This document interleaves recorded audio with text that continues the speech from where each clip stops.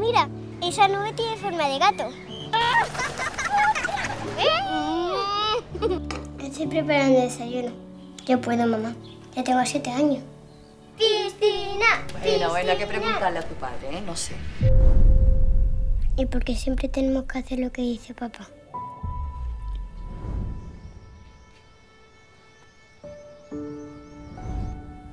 Escúchame bien, Rita. dependa de nadie.